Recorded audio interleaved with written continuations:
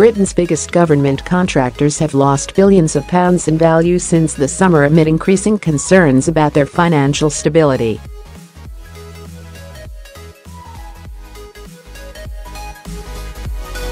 Analysis by the Mail on Sunday shows that the collapse of Carillion and a series of profit warnings from six rival government outsourcing firms have wiped £7 billion off the value of their shares.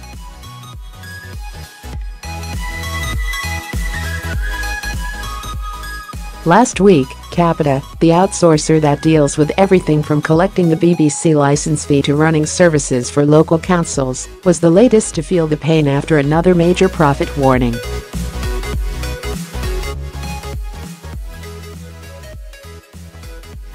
That forced it to scrap its dividend and draw up plans to raise £700 million through a rights issue.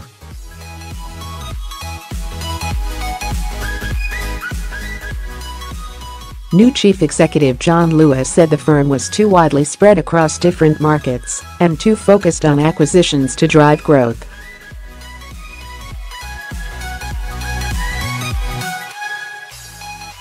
The company's share price almost halved in one day as investors panicked in the wake of Carillion's failure.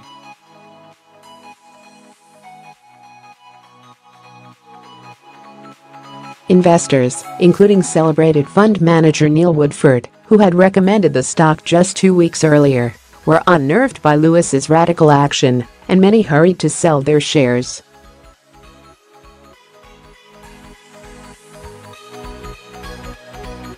Capita quickly sought to calm the market and government fears. But its share price slump is the latest in a string of shocking updates from outsourcers in recent months.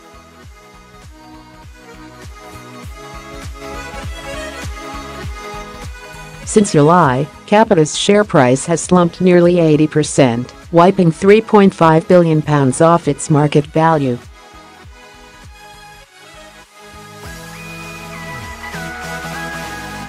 The collapse of Carillion, which was worth £800 million in the summer, has left its shareholders with nothing.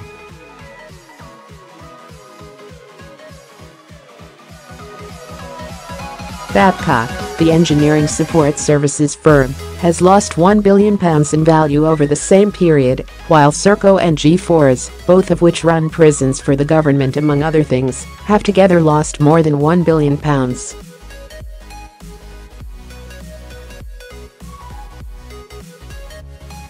Interserve, a support services firm that works on government contracts, has lost two-thirds of its value over the same period as it shrank by £230 million.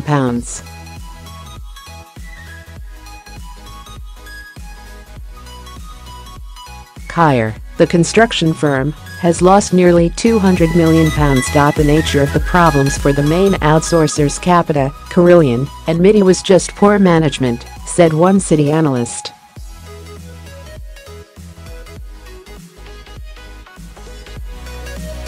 If there is anything linking them together, it's companies being a little optimistic about some of the accounting.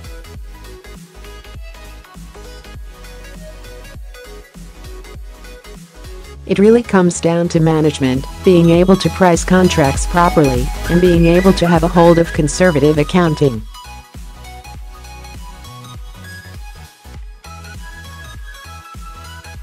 But he added a note of optimism, saying, I don't think any of the other companies are headed in the same direction as Carillion.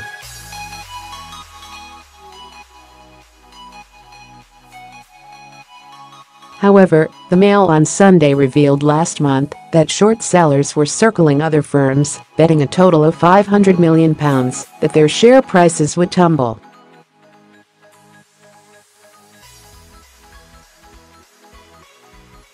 Interserve is the most shorted outsourcer, with 13% of its shares on loan to hedge funds, while 8% of Capita's shares were in the hands of short sellers.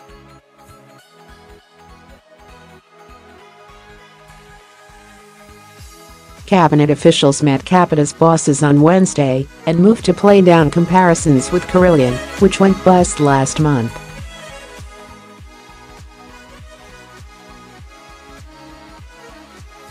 Outsourcers have become known for booking sales in advance on long-term contracts.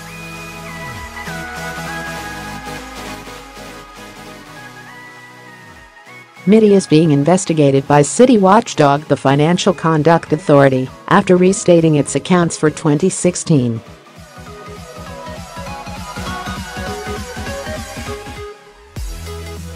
An internal review found that its accounting was less conservative than that of its rivals.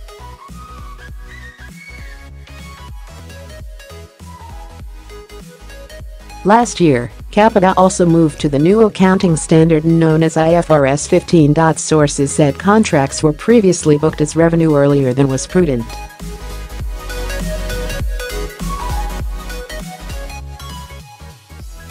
Capita is understood to be hatching a plan that could wipe out its £381 million pension deficit.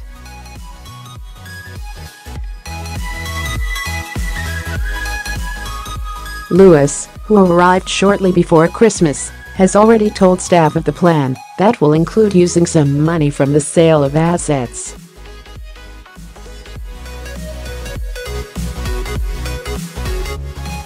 Capita's directors have also said they plan to raise £700 million in new funds to help shore up the balance sheet.